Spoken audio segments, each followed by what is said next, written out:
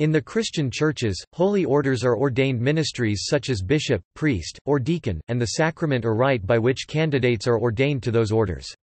Churches recognizing these orders include the Catholic Church, the Eastern Orthodox Irozine Hierozine, Ierateuma Hierateuma, Svazenstvo Svyashchenstvo, Oriental Orthodox, Anglican, Assyrian, Old Catholic, Independent Catholic and some Lutheran churches. Except for Lutherans and some Anglicans, these churches regard ordination as a sacrament the sacramentum ordinis. The Anglo-Catholic tradition within Anglicanism identifies more with the Roman Catholic position about the sacramental nature of ordination. Denominations have varied conceptions of holy orders. In the Anglican churches and some Lutheran churches the traditional orders of bishop, priest and deacon are bestowed using ordination rites.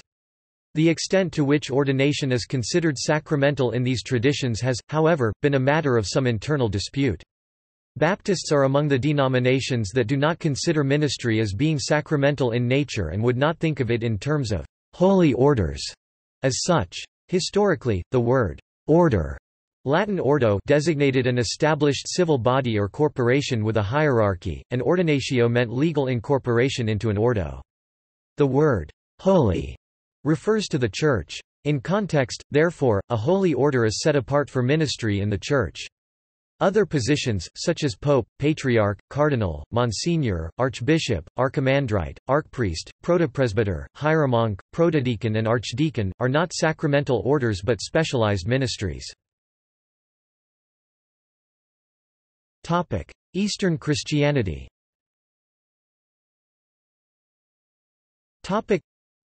the Eastern Orthodox Church considers ordination known as cheirotonia, laying on of hands, to be a sacred mystery what in the West is called a sacrament. Although all other mysteries may be performed by a presbyter, ordination may only be conferred by a bishop, and ordination of a bishop may only be performed by several bishops together. Cheirotonia always takes place during the Divine Liturgy.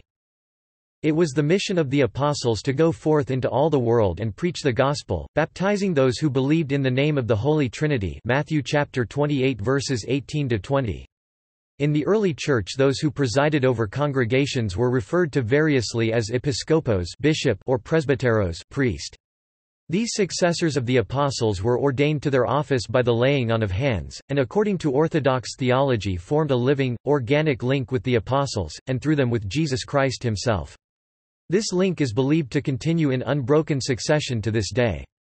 Over time, the ministry of bishops who hold the fullness of the priesthood and presbyters or priests who hold a portion of the priesthood as bestowed by their bishop came to be distinguished. In Orthodox terminology, priesthood or sacerdotal refers to the ministry of bishops and priests. The Eastern Orthodox Church also has ordination to minor orders known as cheirothesia, imposition of hands, which is performed outside of the Divine Liturgy, typically by a bishop, although certain archimandrites of Stavropegial monasteries may bestow cheirothesia on members of their communities. A bishop is the teacher of the faith, the carrier of sacred tradition, and the living vessel of grace through whom the energeia divine grace of the Holy Spirit flows into the rest of the Church. A bishop is consecrated through the laying on of hands by several bishops. With the consent of several other bishops, a single bishop has performed the ordination of another bishop in emergency situations, such as times of persecution. The consecration of a bishop takes place near the beginning of the liturgy, since a bishop can, in addition to performing the mystery of the Eucharist, also ordain priests and deacons. Before the commencement of the Holy Liturgy, the bishop-elect professes, in the middle of the church before the seated bishops who will consecrate him, in detail the doctrines of the Orthodox Christian faith and pledges to observe the canons of the apostles and councils, the typikon and customs of the Orthodox Church and to obey ecclesiastical authority. After the little entrance, the archpriest and archdeacon conduct the bishop-elect before the royal gates where he is met by the bishops and kneels before the altar on both knees. The Gospel book is laid over his head and the consecrating bishops lay their hands upon the Gospel book, while the prayers of ordination are read by the eldest bishop. After this, the newly consecrated bishop ascends the synthronon bishop's throne in the sanctuary for the first time. Customarily, the newly consecrated bishop ordains a priest and a deacon at the liturgy during which he is consecrated. A priest may serve only at the pleasure of his bishop. A bishop bestows faculties permission to minister within his diocese giving a priest chrism and an antimens, he may withdraw faculties and demand the return of these items. The ordination of a priest occurs before the anaphora Eucharistic prayer in order that he may on the same day take part in the celebration of the Eucharist. During the Great Entrance, the candidate for ordination carries the air chalice veil over his head rather than on his shoulder, as a deacon otherwise carries it then as a symbol of giving up his diaconate, and comes last in the procession and stands at the end of the pair of lines of the priests. After the air is taken from the candidate to cover the chalice and discos, a chair is brought for the bishop to sit on by the northeast corner of the holy table altar. Two deacons go to priest-elect who, at that point, had been standing alone in the middle of the church, and bow him down to the west to the people and to the east to the clergy, asking their consent by saying Command ye, and then lead him through the holy doors of the altar where the archdeacon asks the bishop's consent, saying, Command, most sacred master, after which a priest escorts the candidate three times around the holy table, during which he kisses each corner of the holy table as well as the bishop. S epigonation and right hand and prostrates himself before the holy table at each circuit. The candidate is then taken to the southeast corner of the holy table and kneels on both knees, resting his forehead on the edge of the holy table. The ordaining bishop then places his omophore and right hand over the ordinand. S head and recites aloud the first prayer of Cheirotonia and then prays silently the other two prayers of Cheirotonia while a deacon quietly recites a litany and the clergy, then the congregation, chant Lord, have mercy. Afterwards, the bishop brings the newly ordained priest to stand in the holy doors and presents him to the faithful. He then clothes the priest in each of his sacerdotal vestments, at each of which the people sing, Worthy. Later, after the epiclesis of the liturgy, the bishop hands him a portion of the lamb host, saying, Receive thou this pledge, and preserve it whole and unharmed until thy last breath, because thou shalt be held to an accounting therefore in the second and terrible coming of our great Lord, God, and Saviour, Jesus Christ. A deacon may not perform any sacrament and performs no liturgical services on his own but serves only as an assistant to a priest and may not even vest without the blessing of a priest.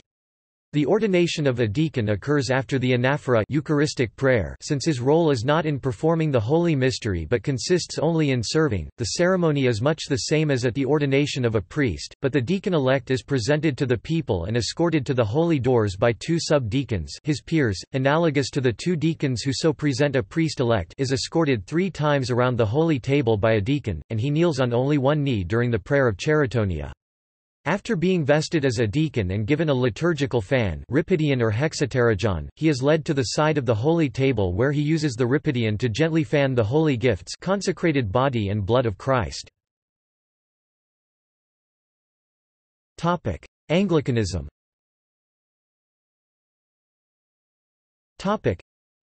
the Anglican churches hold their bishops to be in apostolic succession, although there is some difference of opinion with regard to whether ordination is to be regarded as a sacrament. The Anglican Articles of Religion hold that only baptism and the Lord's Supper are to be counted as sacraments of the Gospel, and assert that other rites, commonly called sacraments, considered to be sacraments by such as the Roman Catholic and Eastern churches, were not ordained by Christ in the Gospel. They do not have the nature of a sacrament of the gospel in the absence of any physical matter such as the water in baptism and the bread and wine in the Eucharist. The Book of Common Prayer provides rites for ordination of bishops, priests and deacons.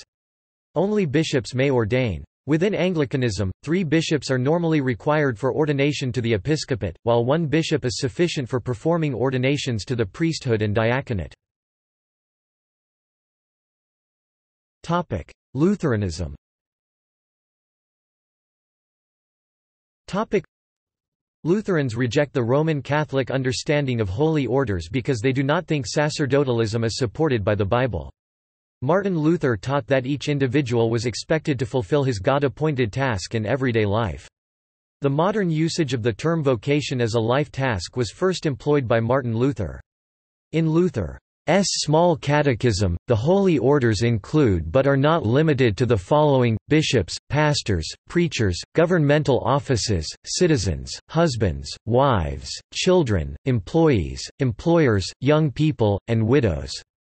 However, also according to the Book of Concord, but if ordination be understood as applying to the ministry of the Word, we are not unwilling to call ordination a sacrament. For the ministry of the word has God. S command and glorious promises, Rom. 1.16, the gospel is the power of God unto salvation to every one that believeth.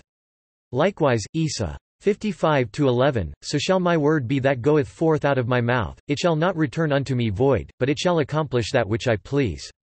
12. If ordination be understood in this way, neither will we refuse to call the imposition of hands a sacrament. For the Church has the command to appoint ministers, which should be most pleasing to us, because we know that God approves this ministry, and is present in the ministry that God will preach and work through men and those who have been chosen by men. Roman Catholicism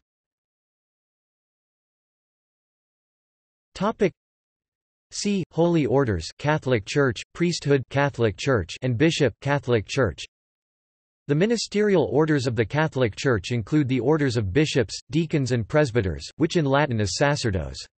The ordained priesthood and common priesthood or priesthood of the all the baptized are different in function and essence, a distinction is made between «priest» and «presbyter» in the 1983 Code of Canon Law. The Latin words sacerdos and sacerdotium are used to refer in general to the ministerial priesthood shared by bishops and presbyters.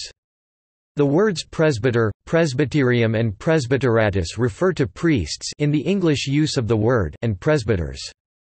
While the consecrated life is neither clerical nor lay by definition, clerics can be members of institutes of consecrated or secular diocesan life. Topic: Process and sequence. Topic: the sequence in which holy orders are received are, minor orders, deacon, priest, bishop. For Catholics, it is typical in the year of seminary training that a man will be ordained to the diaconate, which Catholics since the Second Vatican Council sometimes called a transitional diaconate, to distinguish men bound for priesthood from permanent deacons. They are licensed to preach sermons under certain circumstances a permanent deacon may not receive faculties to preach, to perform baptisms, and to witness Catholic marriages, but to perform no other sacraments. They assist at the Eucharist or the Mass, but are not able to consecrate the bread and wine. Normally, after six months or more as a transitional deacon, a man will be ordained to the priesthood. Priests are able to preach, perform baptisms, confirm with special dispensation from their ordinary, witness marriages, hear confessions and give absolutions, anoint the sick, and celebrate the Eucharist or the Mass. Orthodox seminarians are typically tonsured as readers before entering seminary, and may later be made subdeacons or deacons. Customs vary between seminaries and between Orthodox jurisdictions. Some deacons remain permanently in the diaconate while most subsequently are ordained as priests. Orthodox clergy are typically either married or monastic. Monastic deacons are called hierodeacons, monastic priests are called hieromonks. Orthodox clergy who marry must do so prior to ordination to the subdiaconate or diaconate, according to local custom and typically one is either tonsured a monk or married before ordination. A deacon or priest may not marry, or remarry if widowed, without abandoning his clerical office. Often, widowed priests take monastic vows. Orthodox bishops are always monks, a single or widowed man may be elected a bishop but he must be tonsured a monk before consecration as a bishop. For Anglicans, a person is usually ordained a deacon once he or she has completed training at a theological college. The historic practice of a bishop tutoring a candidate himself, reading for orders, is still to be found. The candidate then typically serves as an assistant curate and may later be ordained as a priest at the discretion of the bishop. Other deacons may choose to remain in this order. Anglican deacons can preach sermons, perform baptisms and conduct funerals, but, unlike priests, cannot celebrate the Eucharist. In most branches of the Anglican Church, women can be ordained as priests, and in some of them, can also be ordained bishops. Bishops are chosen from among priests in churches that adhere to Catholic usage. In the Roman Catholic Church, bishops, like priests, are celibate and thus unmarried. Further, a bishop is said to possess the fullness of the sacrament of holy orders, empowering him to ordain deacons, priests, and, with papal consent, other bishops.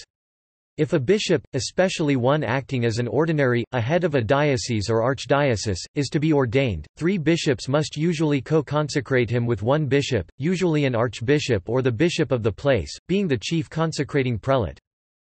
Among Eastern Rite Catholic and Eastern Orthodox churches, which permit married priests, bishops must either be unmarried or agree to abstain from contact with their wives.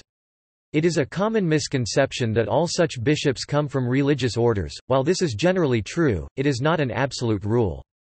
In the case of both Catholics Western and Eastern Catholic, Oriental Orthodox and Eastern Orthodox, they are usually leaders of territorial units called dioceses or its equivalent in the East, an eparchy. Only bishops can validly administer the sacrament of holy orders. Topic: Recognition of other churches' orders Topic: the Roman Catholic Church unconditionally recognizes the validity of ordinations in the Eastern churches. Some Eastern Orthodox churches reordain Catholic priests who convert while others accept their Roman Catholic ordination using the concept of economia church economy. Anglican churches claim to have maintained apostolic succession. The succession of Anglican bishops is not universally recognized, however.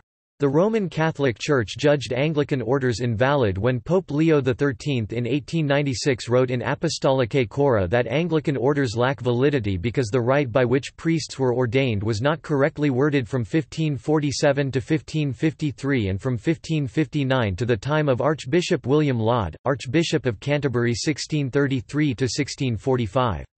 The papacy claimed the form and matter was inadequate to make a Catholic bishop. The actual mechanical succession, prayer and laying on hands was not disputed. Two of the four consecrators of Matthew Parker in 1559 had been consecrated using the English ordinal and two using the Roman pontifical. Nonetheless, they believed that this caused a break of continuity in apostolic succession, making all further ordinations null and void. Eastern Orthodox bishops have, on occasion, granted economy when Anglican priests convert to Orthodoxy. Various Orthodox churches have also declared Anglican orders valid subject to a finding that the bishops in question did indeed maintain the true faith, the Orthodox concept of apostolic succession being one in which the faith must be properly adhered to and transmitted, not simply that the ceremony by which a man is made a bishop is conducted correctly. Changes in the Anglican ordinal since King Edward VI, and a fuller appreciation of the pre-Reformation ordinals, suggest that the correctness of the enduring dismissal of Anglican orders is questionable. To reduce doubt concerning Anglican apostolic succession, especially since the 1930 Bonn Agreement between the Anglican and Old Catholic churches, some Anglican bishops have included among their consecrators bishops of the Old Catholic Church, whose holy orders are recognized as valid and regular by the Roman Catholic Church. Neither Roman Catholics nor Anglicans recognize the validity of ordinations of ministers in Protestant churches that do not maintain apostolic succession, but some Anglicans, especially Low Church or Evangelical Anglicans, commonly treat Protestant ministers and their sacraments as valid. Rome also does not recognize the apostolic succession of those Lutheran bodies which retained apostolic succession. Officially, the Anglican Communion accepts the ordinations of those denominations which are in full communion with their own churches, such as the Lutheran state churches of Scandinavia. Those clergy may preside at services requiring a priest if one is not otherwise available. Marriage and holy orders the rules discussed in this section are not considered to be among the infallible dogmas of the Catholic Church, but are mutable rules of discipline. See clerical celibacy for a more detailed discussion. Married men may be ordained to the diaconate as permanent deacons, but in the Latin Rite of the Roman Catholic Church generally may not be ordained to the priesthood. In the Eastern Catholic Churches and in the Eastern Orthodox Church, married deacons may be ordained priests but may not become bishops. Bishops in the Eastern Rites and the Eastern Orthodox churches are almost always drawn from among monks, who have taken a vow of celibacy. They may be widowers, though, it is not required of them never to have been married. In some cases, widowed permanent deacons have been ordained to the priesthood. There have been some situations in which men previously married and ordained to the priesthood in an Anglican church or in a Lutheran church have been ordained to the Catholic priesthood and allowed to function much as an Eastern Rite priest but in a Latin Rite setting. This is never sub conditione conditionally, as there is in Catholic canon law no true priesthood in Protestant denominations. Such ordination may only happen with the approval of the priest's bishop and a special permission by the pope. Anglican clergy may be married or may marry after ordination. In the Old Catholic Church and the independent Catholic churches there are no ordination restrictions related to marriage. Other concepts of ordination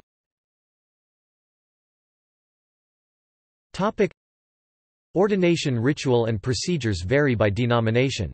Different churches and denominations specify more or less rigorous requirements for entering into office, and the process of ordination is likewise given more or less ceremonial pomp depending on the group. Many Protestants still communicate authority and ordain to office by having the existing overseers physically lay hands on the candidates for office. Methodist churches the American Methodist model is an episcopal system loosely based on the Anglican model, as the Methodist Church arose from the Anglican Church. It was first devised under the leadership of Bishops Thomas Coke and Francis Asbury of the Methodist Episcopal Church in the late 18th century.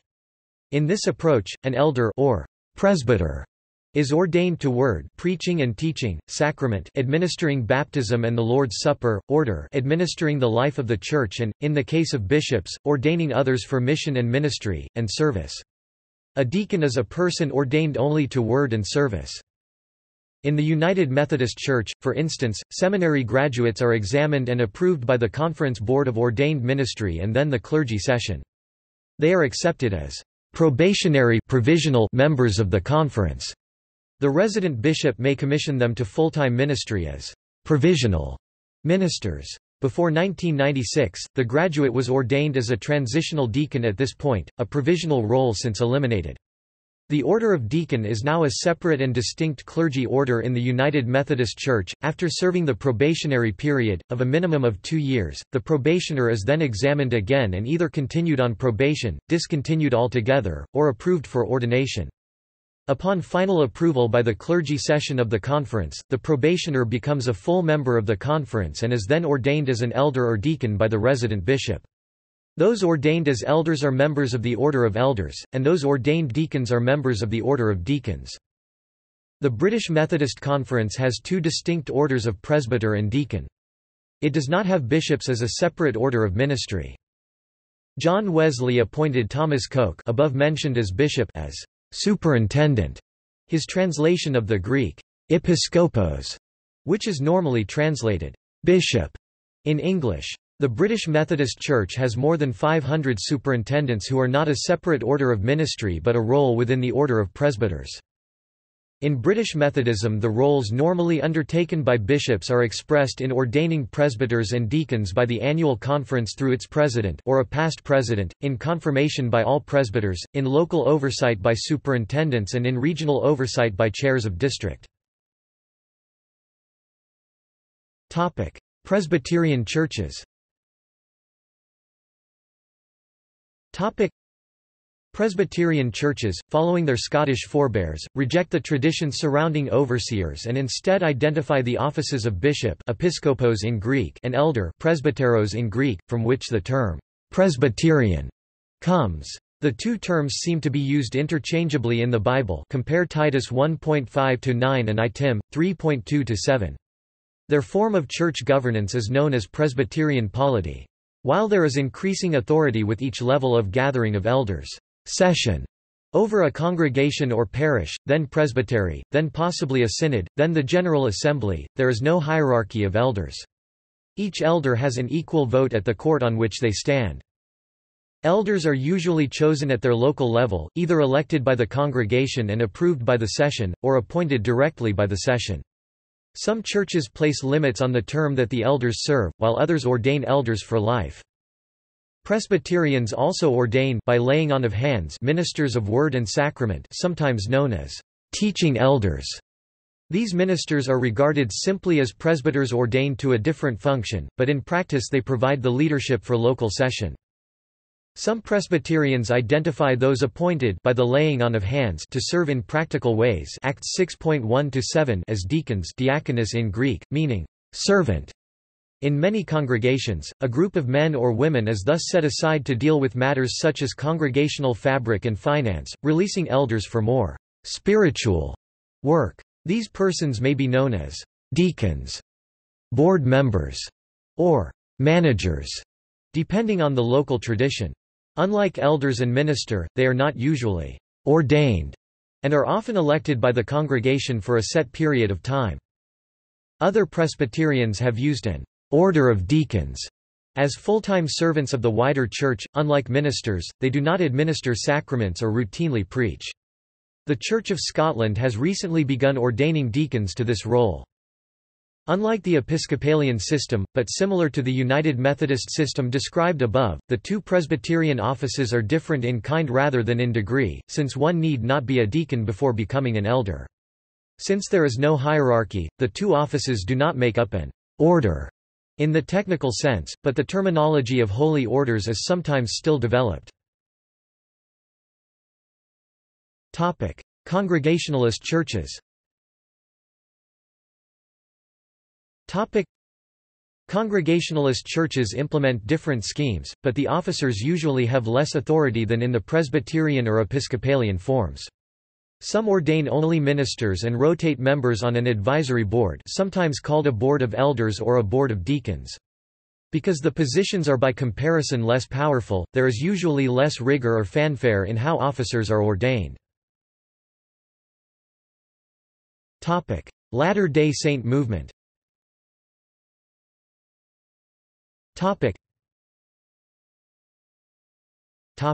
The Church of Jesus Christ of Latter-day Saints the Church of Jesus Christ of Latter-day Saints LDS Church accepts the legal authority of clergy to perform marriages but does not recognize any other sacraments performed by ministers not ordained to the Latter-day Saint priesthood. Although the Latter-day Saints do claim a doctrine of a certain spiritual apostolic succession, it is significantly different from that claimed by Catholics and Protestants since there is no succession or continuity between the 1st century and the lifetime of Joseph Smith, the founder of the LDS Church. Mormons teach that the priesthood was lost in ancient times not to be restored by Christ until the 19th century when it was given to Joseph Smith directly. The Church of Jesus Christ of Latter-day Saints has a relatively open priesthood, ordaining nearly all worthy adult males and boys of the age of 12 and older. Latter-day Saint priesthood consists of two divisions, the Melchizedek priesthood and Aaronic priesthood. The Melchizedek priesthood because Melchizedek was such a great high priest. Before his day it was called the Holy Priesthood, after the order of the Son of God. But out of respect or reverence to the name of the Supreme Being, to avoid the too frequent repetition of his name, the Church, in ancient days, called that priesthood after Melchizedek. The lesser priesthood is an appendage to the Melchizedek priesthood. It is called the Aaronic priesthood because it was conferred on Aaron and his sons throughout all their generations. The offices, or ranks, of the Melchizedek order in roughly descending order include apostle, seventy, patriarch, high priest, and elder.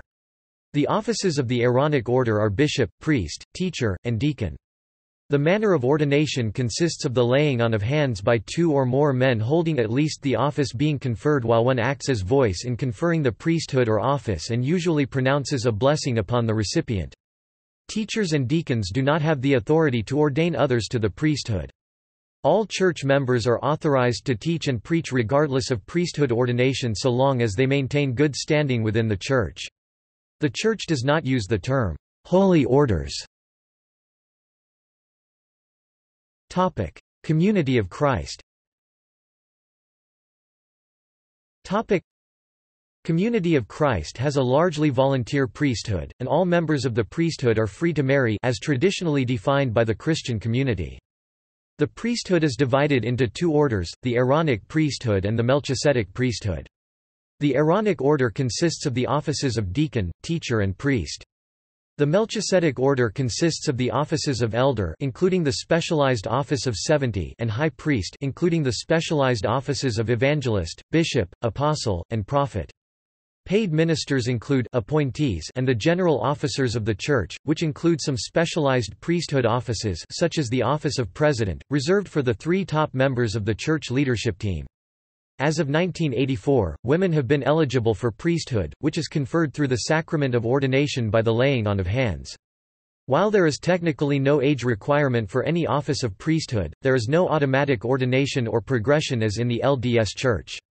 Young people are occasionally ordained as deacon, and sometimes teacher or priest, but generally most priesthood members are called following completion of post-secondary school education.